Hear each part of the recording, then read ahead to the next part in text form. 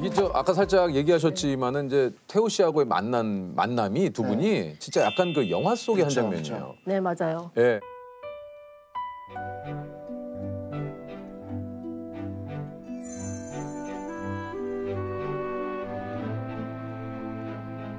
제가 길을 밤에 걷고 있었는데 태호가 서 있었어요. 근데 너무 잘생긴 사람이 떡하니 유혹이요? 네, 아, 유혹이요. 네 앞에 떡하니 서 있어서 제가 너무 잘생겨서 쳐다봤어요. 어. 그랬더니 저를 쳐다보더라고요. 근데 보통 눈이 마주치면 한 사람이 눈을 피하잖아. 그쵸, 거나 그쵸. 이러잖아. 근데 나를 뚫어지게 쳐다보는 어. 거예요. 그래서 나도 이게 웬 떡이냐. 나 그 당시에 감정이. 네. 잘생긴 남자가 나한테 눈을 안 피하고 뚫어지게 어. 쳐다보니까 어, 이게 웬 떡이냐 했죠. 그래서 저도 뚫어지게 쳐다봤어요. 근데 알고 봤더니 태호 이상형이 좀 작고 통통한 여자였어요. 어. 네, 그래서 자기는 자기 이상형이 걸어오니까 뚫어지게 어. 쳐다봤던 어, 거예요. 어, 그러면 예를 들어서 뚫어지게 두분 쳐다보고. 스쳤죠. 아 그대로 시작했어요. 네, 스쳤고 저는 그때 이제 동행인이 있었어요. 어. 그래서 딴 데 갔었다가 아 계속 생각이 생각이 나요? 나서 그 앞으로 다시 나중에 돌아왔는데 네. 없었죠 그 길에. 당연히 없겠죠. 근데 거기 보니까 독일 음식점이 있었는데 음. 이렇게 본능적으로 저 안에 있다 야, 이게 참 신기하다. 직감이. 그래서요. 그래 들어갔죠. 그랬더니 있었어요. 아 태호가 네. 어, 그래서? 이제 앉아가지고 얘기를 하고 뭐 어쩌고 저쩌고 저쩌고 어쩌고 해서 뭐 아, 그렇게 된 거죠.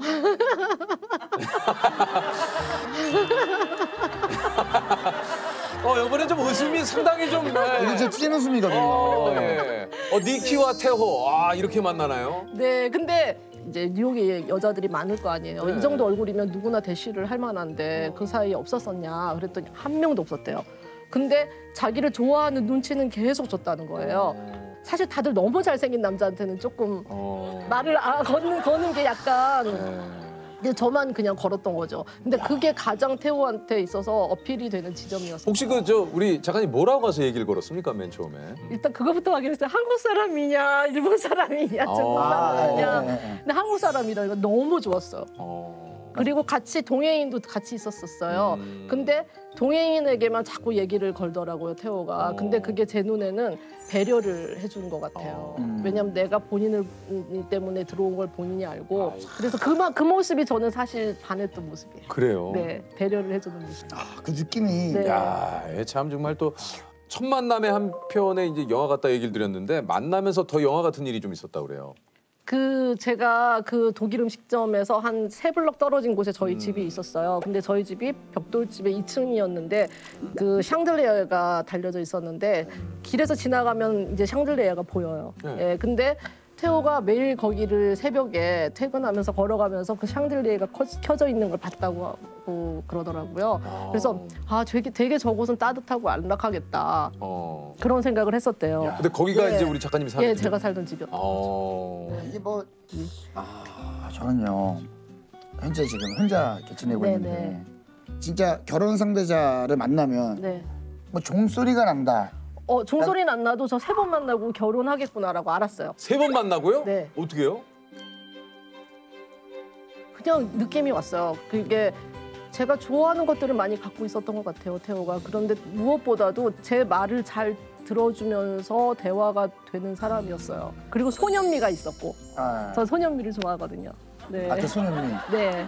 영화 같은 근데 이야기가? 사실 예. 누구에게나 다 만나면 영화 같아요. 왜 하필 그 그럼요. 친구가 맞아요. 걔를 소개시켜줬고 왜 하필이면 거기서 버스를 놓쳤고 진짜. 왜 하필이면 내가 맞아요, 맞아요. 같이 그 바를 갔을까? 예. 내가 사실 그때 맞아요. 뭐 아 나는 그 소개팅 나가기 싫었는데 그렇죠. 어떻게 대신 어쩔 수 없이 나갔는데. 나갔는데. 아니 그래서 이제 그 어, 태호 씨가 이제 미국에서 네, 배우 활동을 네 시작을 했죠. 아, 하신 거구나. 네, 네. 음. 뭐 레스토랑에서 이제 일하시면서 여기저기 이렇게 또 예, 오디션 보시고 네, 그랬죠. 아 그러셨구나. 네.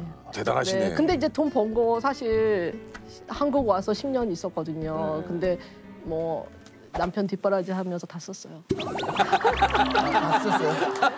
근데 또 이제 아 이게 뭐야? 아 갑자기 어 지금 그, 그 남편 뒷바라지 이 뭐예요? 지금 무슨 말씀이세요, 갑자기? 그러게요. 예? 아니 왜냐면 무명 생활이 길었어요. 아. 아 태호 씨가. 네, 15년인데 저랑 결혼하고 나서부터 한 10년이었으니까요. 네. 뭐 벌어오는 벌이가 하나도 없고 사실은 영화를 너무 좋아했어요 어릴 때부터. 아, 어. 네, 네. 그래서 영화 연출을 해 하고 싶었어요. 네. 네, 그러니까 저도 사실은 작업을 그만두고 음. 한국 와서는 이제 진짜 영화 연출을 해보고 싶어서 시나리오만 계속 쓴 거예요. 그러니까 그냥 이제 저금했던 돈 다 야금야금. 근데 제가 그게 한 3년 정도, 3, 4년 정도 계산했거든요. 음. 그러면은 뜰 수 있겠다. 태호 얼굴에 왜 못 뜨겠나. 어 나를 아까 뭐 3개월처럼 어, 태호 프로젝트는 한 그렇게 할 3년 수 있다. 걸린다. 정도면 3년 이제 요거. 태호는 3년 딱 봐서 뜬다. 뜬다. 예. 응, 안 떠요. 안 떴어요. 안 떠요. 그래서 한 이제 5년, 6년 지나니까 약간 위기 의식이 오더라고요. 어, 큰일 아, 뭔지 났네. 알아, 뭔지 이제 알아. 이거 내가 견딜 수 있는 있을까? 기간이 이게 얼마 남지 않았는데 어떡하지? 막 그랬는데 한 7, 8년 되니까 와, 이거는 영원히 이렇게 될 건가? 아, 이제. 무섭기도 하고 아, 그때 마음을 다 내렸어요. 어, 평생 고생을 하겠구나. 아, 그냥 받아들여야겠다 이거. 네네. 그럼 어차피 본인 인생이니까요. 본인이 하- 해야 될 거 해야 되니까. 쉽지 않네. 근데 이거 참 네. 쉽지 않 이거 쉽지 않은데. 네. 아 쉽지는 않을 것 같은데 이게. 근데 본인은 또 막 알바를 하려고 했어요, 사실. 아, 당연히. 뭐, 또 뭐. 놀고 먹는 걸 좋아하는 친구는 아니니까 엄청 성실한 친구니까. 근데 제가 못 하겠어요. 왜요? 힘들어도 너의 소년미를 잃어버리면 안 된다. 아. 치이면 얼굴이 너의 소년미를 잃어버리면 안 된다.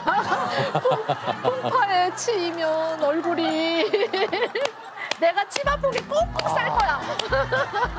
야 태호.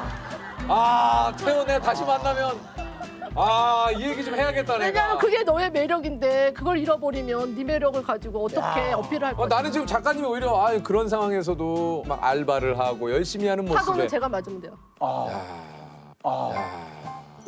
사랑이다 사랑. 아 태호 너무 좋겠다.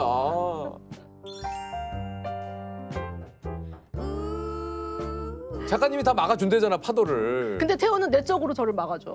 그래요? 네, 제가 뭔가 이렇게 멘탈이 붕괴되거나 음. 힘들거나 할 때 너무나 든든하게 인내심을 갖고 저를 항상 지탱해주고 어, 힘- 힘들었던 지점이 있었던 때가 있어요.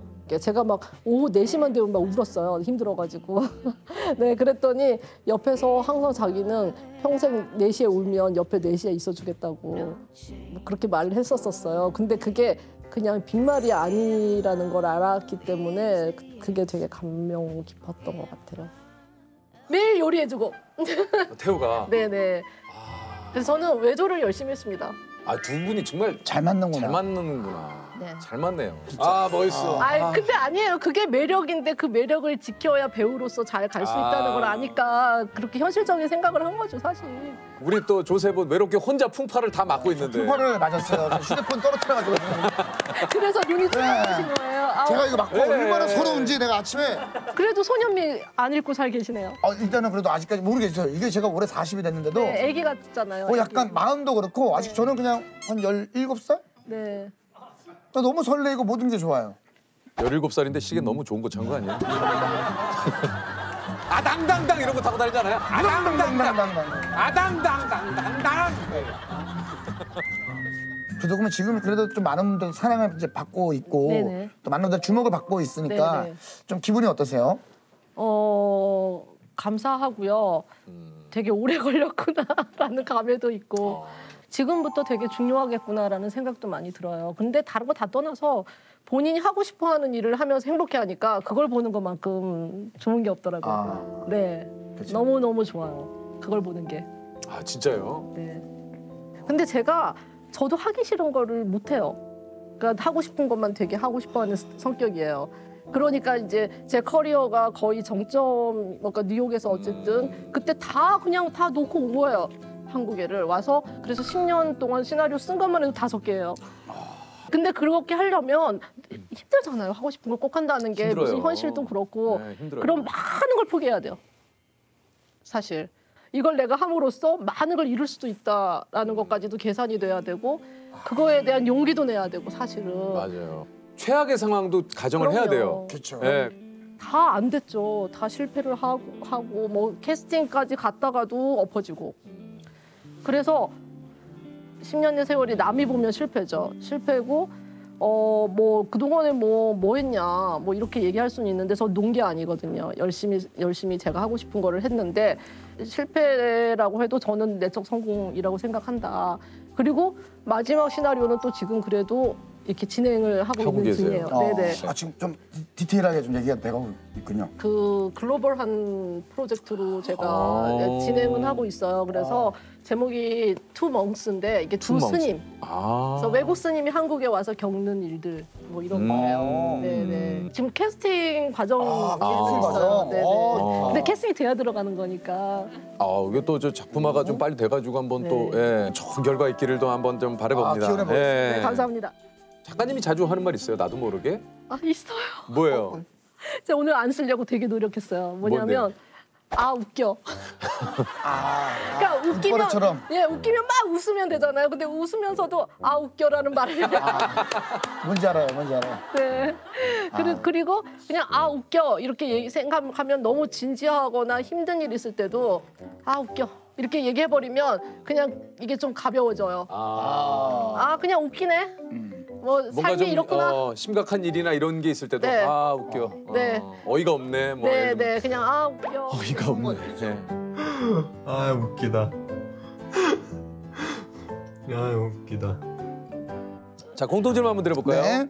마지막으로 한 통의 문자를 누군가에게 보낼 수가 있습니다. 네. 누군가에게 어떤 내용을 보내고 싶으신지. 이게 너무 답이 정해졌는데 뭐 태호한테 보낼 텐데요. 어, 뭐라고 보내실 것 같으세요? 음, 곧 보자. 어, 곧 보자고. 네, 마지막 문자인데요. 네. 그냥 꼭 보자. 네, 왜냐하면 보통 이제 마지막 문자 그러면 이게 약간 상황이잖아요. 어. 그럼 뭐 사랑했어, 고마워, 뭐 이런 거 할 수 있을 텐데 그리고 나서 그걸 계속 보고 있는 사람이 되게 마음이 아- 아플 것 같아요. 아, 근데 만약에 곧 보자, 뭐 다, 그러면. 그럼, 어, 다시 보자, 뭐 이러면은 그걸 보면 계속 마음이 이렇게 약간 좋을 것 같아요. 언젠간 볼그 그렇죠, 또. 희망을 가질 수 네, 있으니까. 네. 예. 키스. 오케이. 오케이, 오케이. 좋습니다. 맞습니다. 아, 이거 너무 어려워. 자 문제 드립니다. 이것은 둘러싸인 정원을 뜻하는 고대 페르시아어에서 유래한 말입니다. 당시 페르시아 제국의 정원엔 맑은 시내가 흐르고 희귀한 나무와 꽃이 만발한 모습이었다는데요. 여기서 유래해 오늘날 걱정이나 근심 없이 행복을 누릴 수 있는 곳을 뜻하는 이것은 무엇일까요? 유토피아? 유토피아. 자 맞으면 100만 원의 상금을 드리는데 정답은요? 파라다이스입니다. 아 파라다이스구나 이게 또. 아, 아 유토피아 맞는 줄 알았는데. 그러니까요. 자 하나 뽑아보세요. 자 네. 조셉이. 오늘은 뭐 야구 준비는 아 없으니까요. 오늘은 뭐 없어요. 아유, 뭐 오늘은 뭐 그냥 뭐예요? 무선 청소기. 야. 야, 오늘은 뭐 그냥 뭐또 크다 주박수가 오네. 어 매일 이러면 얼마나 좋아. 어 이거 뭐? 야, 이건 뭐야? 자 드립니다. 어, 우리 작가님께 고맙습니다. 무선 청소기를 선물로 드리도록 하겠습니다. 고맙습니다. 감사합니다. 고맙습니다.